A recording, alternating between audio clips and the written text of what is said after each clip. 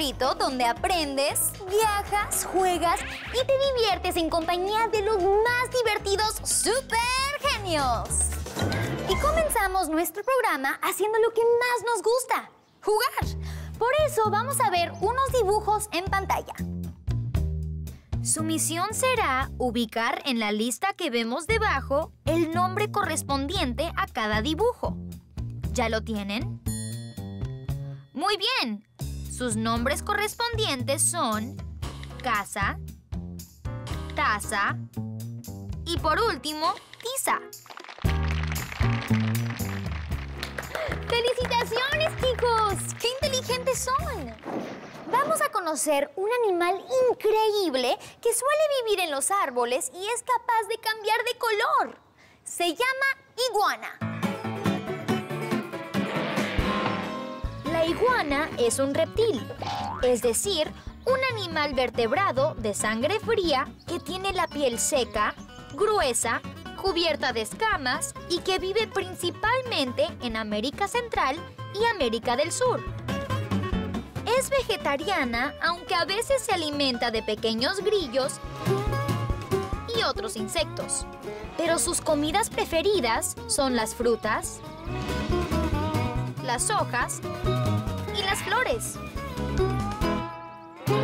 Existen varias especies, pero la más común es la iguana verde y es la más grande de todas. Aunque se pueden encontrar con rayas grises, manchas anaranjadas o con hermosos reflejos de color azul. Esta especie es muy ágil tanto sobre la tierra como en el agua. ¿Sabías que las iguanas son excelentes nadadoras? Les encanta flotar y estar bajo el agua donde pueden permanecer durante 30 minutos sin salir a respirar. Chicos, miren a esta iguana. ¿Cómo? ¿Que no la ven? Ah, claro. Es que la iguana tiene la capacidad de cambiar de color para que sus enemigos no la encuentren. Miren, aquí está. Hola, señora iguana.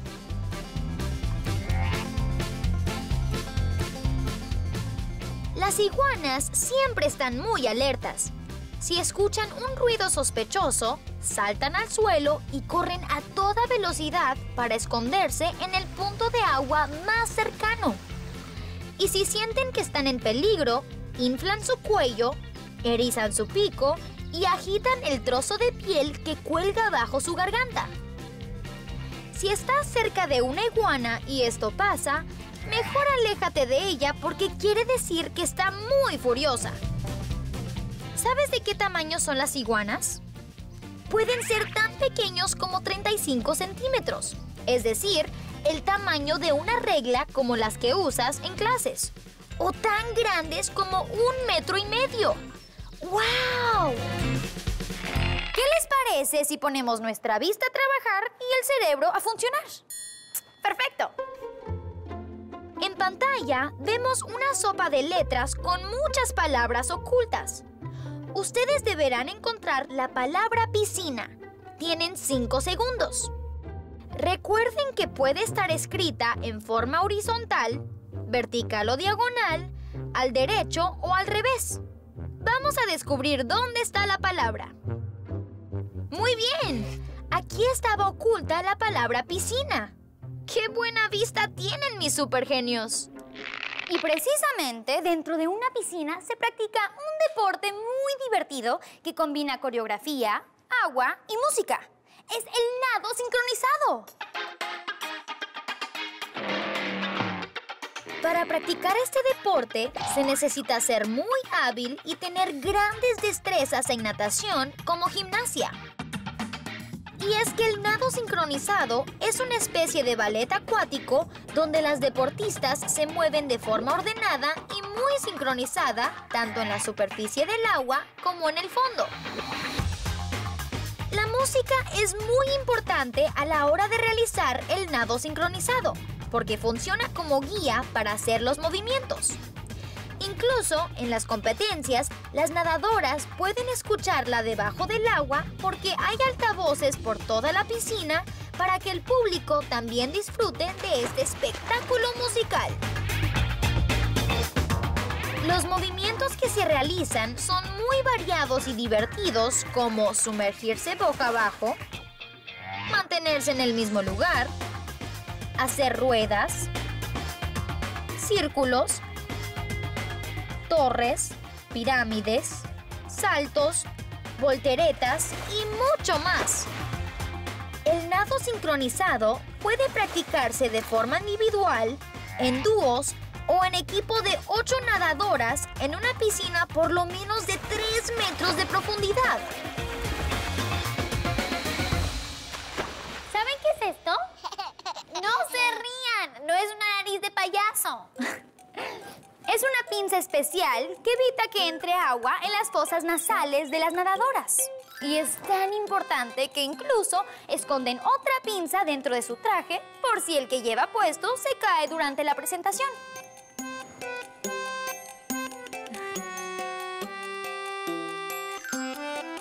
¿Sabías que para propulsarse y sacar el cuerpo del agua, las nadadoras no pueden tocar el fondo de la piscina? Por eso, tienen que trabajar muy bien su musculatura para impulsarse con su propio cuerpo. ¡Qué hábiles estas chicas, ¿verdad?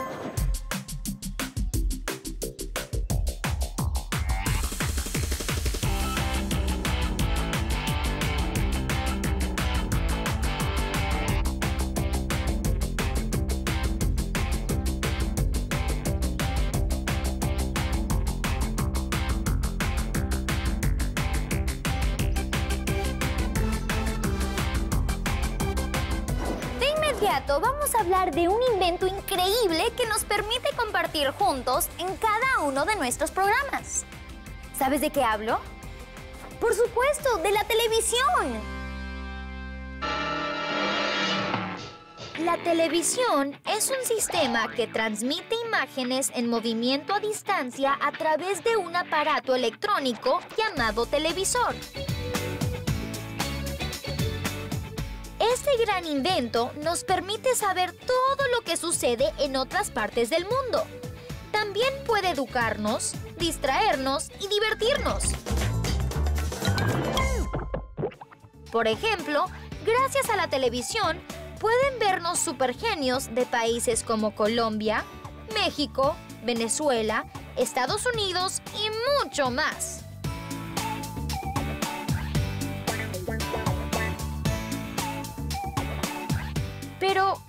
Se transmiten las imágenes de la televisión?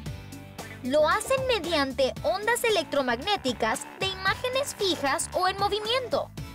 Estas imágenes se envían desde una estación de partida llamada transmisor y viajan hasta un punto de llegada que es el televisor. Este invento revolucionó al mundo entero. Logró unir a muchas culturas y también a las familias, quienes juntos se reúnen para compartir mientras ven sus programas favoritos. Las mamás aman ver programas de cocina y las novelas. Nuestros padres y hermanos son fanáticos de los programas deportivos. Y a nosotros los supergenios nos encantan los dibujos animados y las grandes aventuras.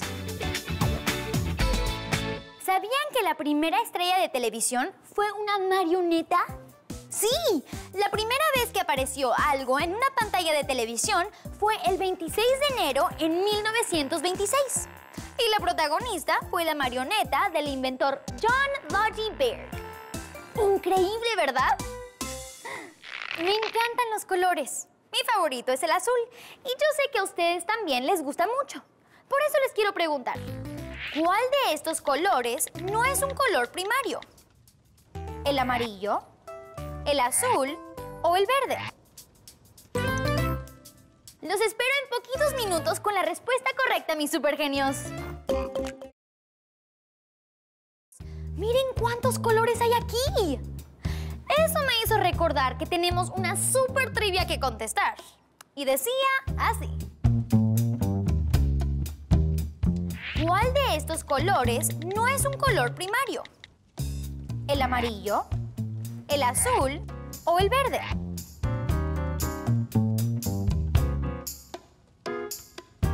Los colores primarios se obtienen sin mezclarse con ningún otro color. Así que nuestra respuesta es el verde, porque el verde se logra mezclando el amarillo con el azul. Chicos, necesito que me ayuden a resolver un problema. Pero tranquilos, es un problema muy divertido. Escuchen bien. Freddy, Tina y Linda tienen muchos juguetes, pero necesito saber cuál de los tres tiene mayor cantidad. Vamos a verlos una vez más. ¿Cuál de los tres tiene más juguetes? Con la respuesta. Freddy tiene cinco pelotas, Tina tiene siete peluches y Linda tres muñecas.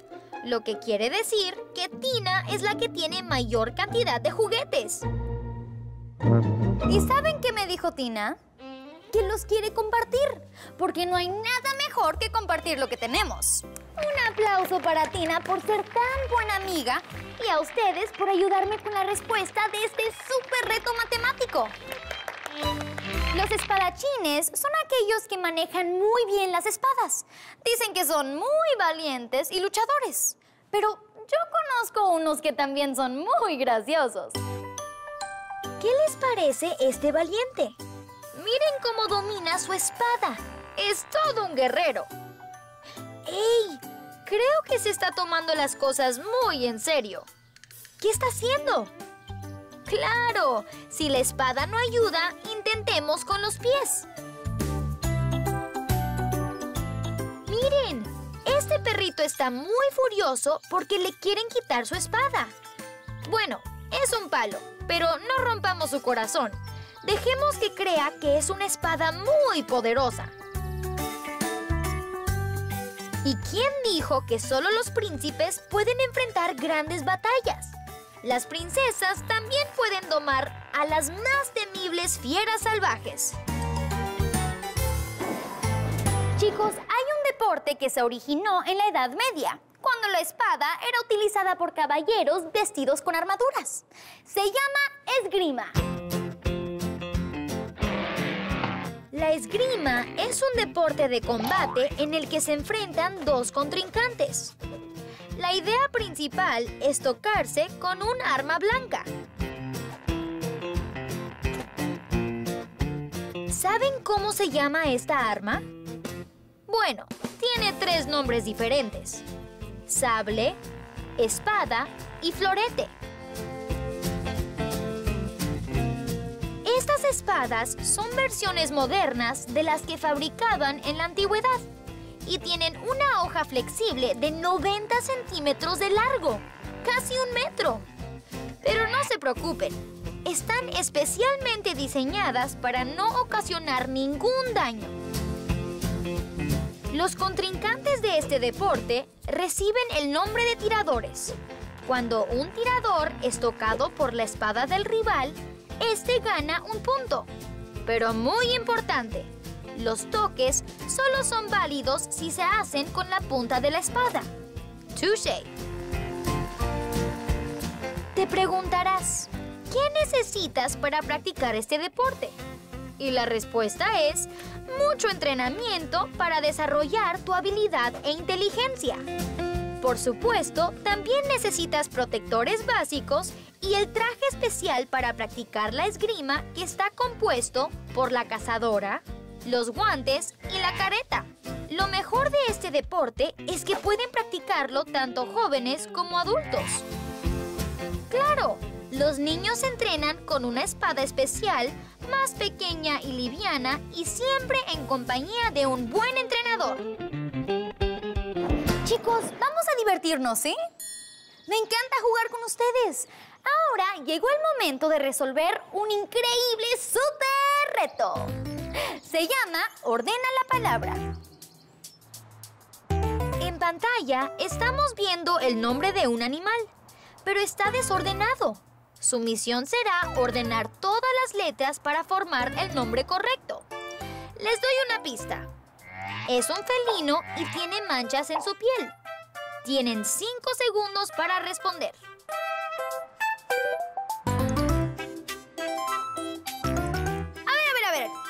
Ver, supergenios. ¿Saben cuál es la respuesta? Vamos a descubrirla. Muy bien. La palabra era leopardo. Lo hicieron excelente. Al igual que el león y el tigre, el leopardo pertenece a la familia de los felinos y es un animal maravilloso. Y también muy feroz. Mucha gente cree que los leopardos solo viven en África, pero en realidad estos grandes felinos están regados por todo el planeta. Viven en lugares como montañas, llanuras, bosques tropicales, sabanas, costas y hasta desiertos. La característica que más llama la atención de los leopardos son sus manchas. En algunos sitios son llamadas rosetas por su gran parecido a una rosa.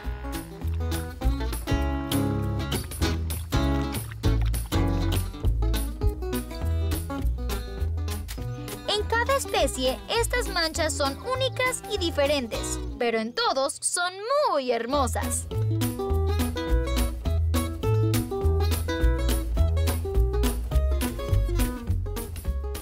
¿Sabes cuál es uno de los sentidos más desarrollados en los leopardos? Su oído.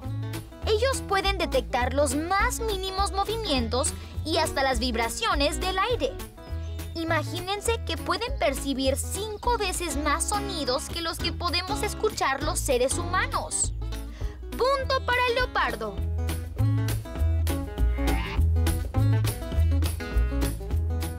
Me imagino que has visto videos de leopardos en el mar. Y es porque son fantásticos nadadores. Aman estar en el agua porque en ella se refrescan y pueden encontrar peces para su alimentación.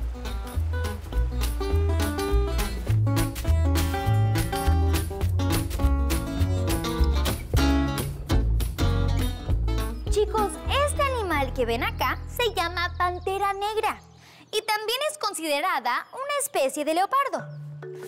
¿Verdad que es hermosa? El leopardo, además de bello e inteligente, es reconocido por ser la especie más fuerte y astuta de todos los felinos. No lo olviden, supergenios. Ahora les tengo una trivia matemática. ¿Cuál de estas figuras geométricas es un hexágono? Número 1, número 2 o número 3. Al regreso tendremos la respuesta correcta. Nos vemos en un ratito, supergenios. Volví rápidamente para conocer la respuesta de la super trivia matemática, que decía así. ¿Cuál de estas figuras geométricas es un hexágono? Número 1, número 2 o número 3.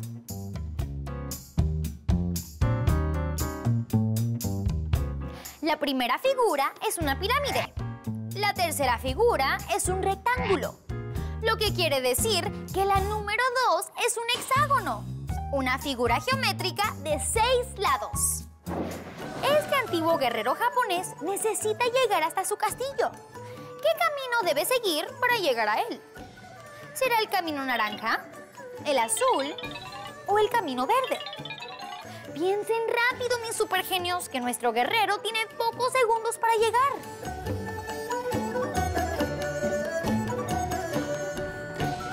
¿Ya tienen la respuesta? Muy bien. El camino que lleva al guerrero japonés hasta su castillo es el de color naranja.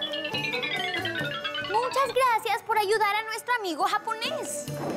En el antiguo Japón existían unos guerreros legendarios muy valientes. Se llamaban samuráis. Y de inmediato los vamos a conocer. Ser un samurái era un gran privilegio, además de ser señal de honor, valentía y disciplina. Los samuráis eran como el ejército del rey y defendían sus pueblos y sus castillos contra el ataque de invasores. Muchos piensan que los samuráis solo podían ser hombres, pero la verdad es que no había límites. Hombres, mujeres, grandes y chicos podían serlo. Los samurái utilizaban diferentes armas para el combate, pero la más importante y conocida se llamaba katana, una espada un poco ancha y ligeramente curvada. Por lo general, estos guerreros japoneses usaban pantalones anchos y un kimono. Pero para las grandes contiendas solían usar una armadura muy fuerte pero flexible que les permitía moverse libremente en el campo de batalla.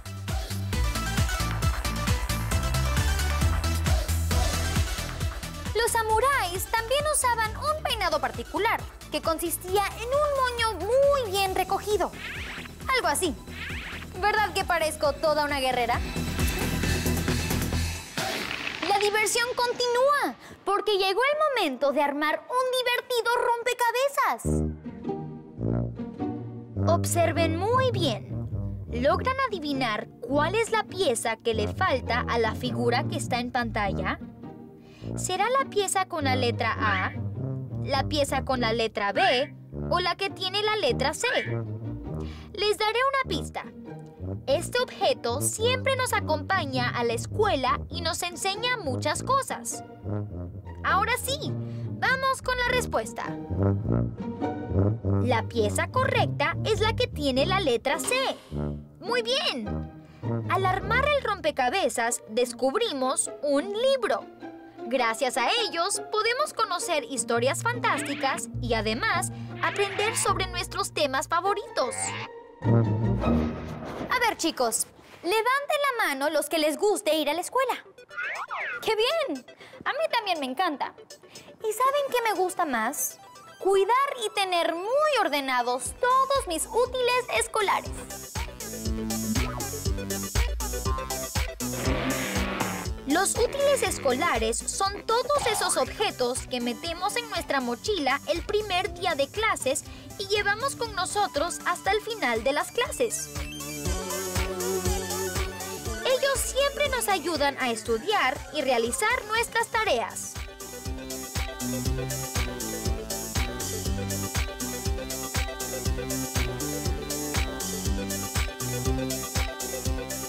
En nuestros útiles no pueden faltar los lápices de colores para llenar de alegría y diversión cada trabajo escolar.